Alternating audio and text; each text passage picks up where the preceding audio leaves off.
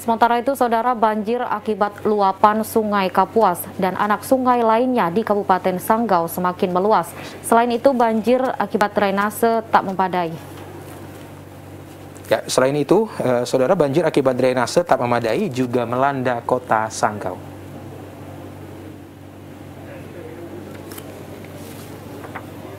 Banjir yang melanda ruas Jalan Jenderal Sudirman kilometer 2 ini sudah berangsur surut. Namun akibat banjir ini sempat membuat arus lalu lintas di kawasan tersebut macet. Banjir diakibatkan hujan dengan intensitas sedang mengguyur kota Sanggau mulai pagi hingga sore hari.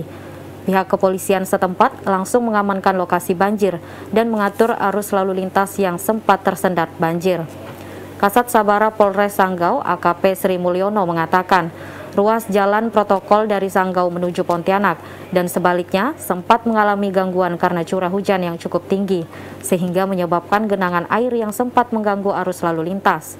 Genangan air yang cukup tinggi sehingga mengganggu arus lalu lintas di jalan protokol tersebut. Diduga disebabkan drainase sebelah kanan dari arah Sanggau tidak memadai.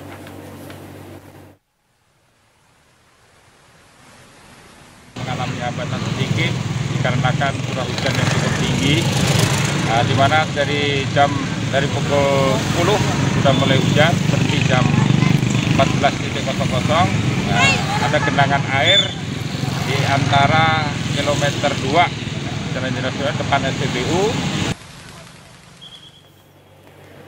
Untuk keamanan para pengguna jalan, petugas kepolisian memasang garis polisi sehingga saat melintas tidak melalui sisi jalan yang airnya tinggi.